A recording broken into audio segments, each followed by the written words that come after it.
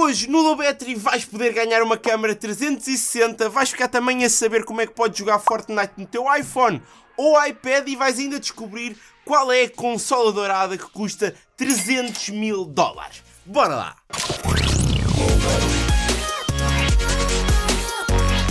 Olá a todos, eu sou o Bernardo Almeida, sejam muito bem-vindos a mais um episódio do Lobetri. Hoje com uma lente nova na segunda câmara, muito calor aqui no estúdio e partículas que me causam alergia no ar. Mas como sempre, vamos ter um programa recheadíssimo de emoções e novidades, portanto não vamos perder mais tempo. Roda aí o update. Primeira notícia do dia chega-nos diretamente do outro lado do planeta, mais concretamente da Califórnia, onde a Google teve o seu evento anual, o Google I.O. E este é um evento que costuma ser mais focado no software, aliás, foi apresentado o Android 13, mas para além disto, e o que eu gostei mais, a Google apresentou montes de pixels. Vão chegar cá ou não, Google? Eish, Deus não dós, pão? não vão chegar cá. Para que é que eles sequer fazem as coisas se não é para vir para Portugal? Se não podes afundar o teu Pixel Watch no molho da francinha, de que é que serve? Então, o que foi anunciado em mais detalhe e que vai chegar já ao mercado são os Pixel Buds Pro, que são uns auriculares wireless, como já estás habituados, mas uma versão um bocadinho melhorada dos Google Pixel Buds, e temos também o Google Pixel 6a. Estamos a falar de um equipamento de gama média, algo parecido ao Google Pixel 6, aliás, tem o mesmo processador, mas tem câmaras diferentes e um ecrã diferente. Depois, a Google mostrou-nos também o Google Pixel 7 e 7 Pro, que vão ser os smartphones de nova geração que vêm no outono, claro, para competir também com os iPhones e vão ter um processador Tensor da Google de próxima geração. Agora nem me puxa muito falar sobre isto, não vem para Portugal.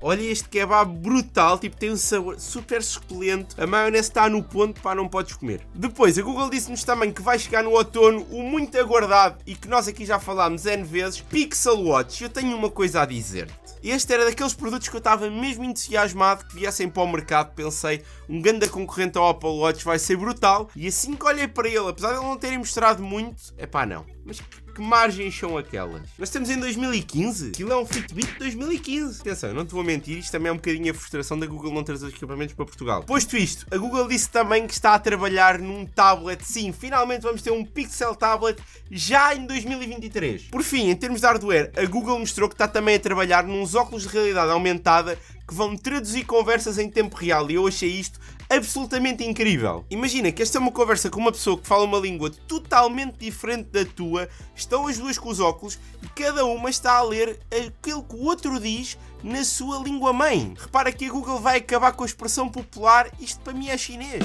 Para finalizar e para te provar também que vale a pena assistir ao Lowbattery, lembras-te quando disse há uns episódios atrás que a Google Wallet era capaz de voltar? Pois bem, voltou. Estás a ver? Vale a pena ver o Lowbattery.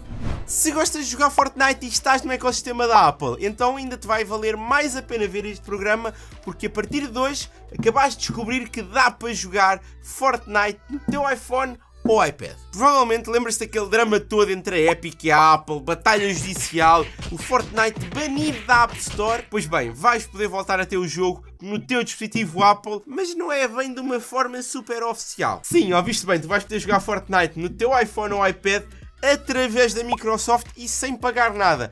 Basta teres o Xbox Cloud Gaming, criares uma conta e podes jogar à vontade. Posto isto, lembras-te no início do episódio falei-te de um giveaway e sinto que está na hora de tratarmos disso, portanto bora lá. Não te falta alguma coisa? Ah, pois, burocracias do low battery. Roda aí o zoom. Já, já posso agora? Já deixam? Sim.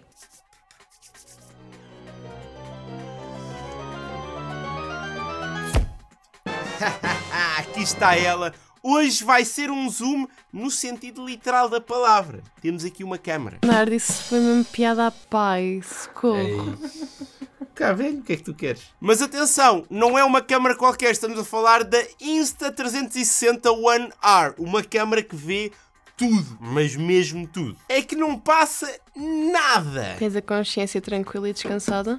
Não se passa nada. Repara que por aqui consegues já ver que estamos a falar de uma câmara que não é action cam convencional. Isto porquê? Porque ela é modular. Tu podes começar a desmontar a câmara. Eu juro que se eu chegar ao meu pai e disser assim, Aí, pai, nem sabes partir a câmara. ele vai acreditar. Mas porquê que ela é modular? Porque tu podes optar, tens aqui uma lente para uma action cam normal, mas se quiseres gravar em 360 e apanhar tudo o que está a passar, tens também aqui um módulo com a câmera dupla. Isto é mesmo super rápido. Queres aqui gravar a 4K com um módulo de 48 megapixels tal.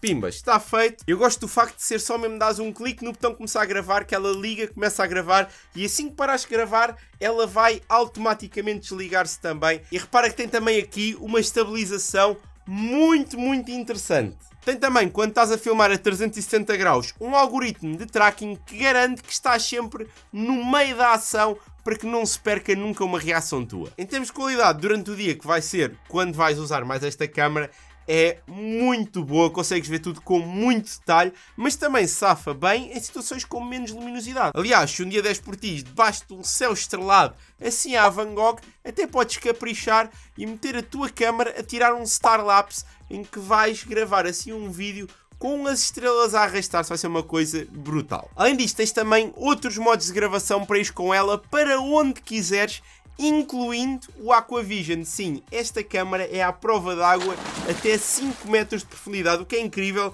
Sendo uma câmara modular, como é que eles conseguiram meter isto à prova d'água? Parece mesmo contra a natura levares isto para debaixo d'água, mas podes. Além disto, tens aqui também controle por voz e depois tens uma coisa engraçada que são modelos de edição profissional na aplicação para que possas pegar ele faz a edição e depois tu é só postar no teu Instagram, no teu TikTok, onde seja. Incrível, eu sei, se quiseres saber mais vais ter claro o link na descrição, mas olha que eu ainda não te disse o melhor de tudo. O melhor de tudo é que vais poder levar esta menina para a tua casa, exatamente. Vamos fazer um giveaway desta câmara e o que é que precisas de fazer para ganhar? Fácil, tudo o que precisas de fazer é provar-nos que és o rei ou rainha dos vídeos 360, que a andar assim à volta pá, não há ninguém melhor que tu. Tudo o que tens que fazer é gravar um vídeo 360, publicar no teu Instagram, identificar a Vorten e colocar este hashtag que está a aparecer aqui. Ah, oh Bernardo, mas então eu não tenho uma câmera dessas 360, como é que eu vou fazer um vídeo 360? Pois, esse é que é o desafio, não é? Se não era fácil. E atenção, tens liberdade total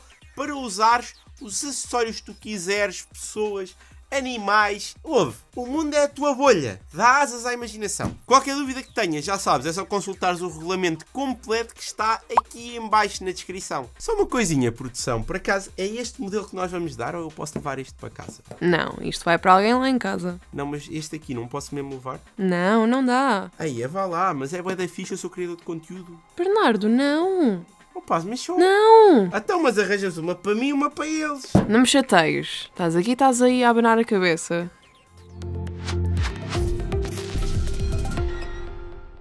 Esta semana, aqui no Shaking My Head, temos uma notícia que é mesmo real. Explica lá. Explica lá a piada, Bernardo. Lico? Então, vai uma Wii que é dourada a leilão. E de quem é que é esta Wii?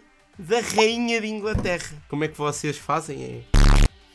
Ei, ei, ei, ó, Bernardo, estavas a falar do, do Pixel Watch, mas tu aí ficaste preso em 2015.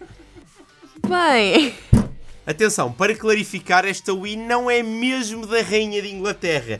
Era para ser, mas nunca chegou a ser entregue. Para terem noção, ela foi produzida em 2009 como parte de uma campanha publicitária para promover o jogo Big Family Games. Conhecem? não. Pois, é normal. Não passou de um jogo medíocre. No entanto, mesmo não tendo chegado às mãos da rainha, as pessoas gostam mesmo desta consola, pois a última vez que ela foi leiloada foi por um valor de 300 mil dólares. Uma Wii, 300 mil dólares. E tu perguntas, Ah, mas isso está aí mesmo banhado a ouro. não! Está só pintada de dourado. Bom, agora que eu estou a pensar, se calhar é por isso que foi devolvida. Não ficava assim tão bem na decoração do Palácio de Buckingham, lá com aquela TV OLED de 88 polegadas que ela tem. Epá, ou se calhar por outro lado a rainha pode ser mais gamer de PC, não sei, se calhar anda aí no CSzinho. De qualquer forma, se estiveres interessado em comprar esta Wii super exclusiva, neste momento podes fazê-lo, pois está a existir outro leilão. À data de gravação deste vídeo, o valor vai em 5 mil dólares, o que é muito inferior aos 300 mil dólares que já foram pagos e quem sabe não consegues obter uma pechincha. Quer dizer, produção, eu ouvi dizer, eu ouvi uns zunzuns que vinha aqui uma para o, para o cenário de low battery, ou não? Ouviste? Sim, sim, sim. Não, Bernardo, não podes ligar a tudo que ouves dizer Não, na não, internet. foi os bosses da Vorten mesmo. Portanto, portanto não vamos ter o i. Não, não. Pois, se nós nem bateria temos, quanto mais. Malta, deixei a notícia mais incrível para o fim. Provavelmente conheces o FM, aquele jogo em que podes fazer de José Mourinho e levar a tua equipa à glória. Mas bem, existe agora um modo que não estás bem a perceber. Tu podes, no FM, transformar os teus jogadores em Pokémon! Imaginem isto: Pikachu, médio centro. Depois, lateral direito, Squirtle. Tens na baliza o Charizard e lá à frente a fazer gols o Lugia. Mas isto é mesmo verdade. Houve um conjunto de fãs que criou uma base de dados para o FM que introduz Pokémons no teu jogo. Basicamente, os jogadores disputam a Kanto League, que é uma liga com 8 equipas dominada pela Team Rocket. E porquê que é dominada pelo Team Rocket? Perguntas tu? Assim, a resposta devia ser óbvia. Eles têm o melhor jogador do mundo o Mewtwo e ainda por cima com um contrato vitalício. O teu objetivo vai ser pegar numa das outras 7 equipas e derrotar a Team Rocket indo contratando Pokémons dentro dos 150 disponíveis. Mas atenção, isto não é aleatório. Cada um deles tem atributos específicos pensados. Não penses que vais apanhar o Snorlax com uma grande velocidade ou o PJ com uma grande qualidade de passe. E atenção, as personagens principais não ficam só pelos jogadores. Vais poder ter também, por exemplo, a Nurse Joy como fisioterapeuta do clube. A Officer Jenny vai poder ser a olheira do teu clube para contratar os novos Pokémon jogadores. E para elevar isto a outro nível, o dono do clube vai ser o Giovanni Musk, que é assim uma mistura entre o Giovanni que tu conheces Pokémon e o Elon Musk. O homem está em todo lado. Começa a ficar assustada. Eu sei, isto foi mesmo uma informação dramática. E já nem te apetece ver mais Lobetri. Sei, queres fechar a janela e ir jogar o jogo. Tu e eu. Portanto, não estou aqui a fazer mais nada.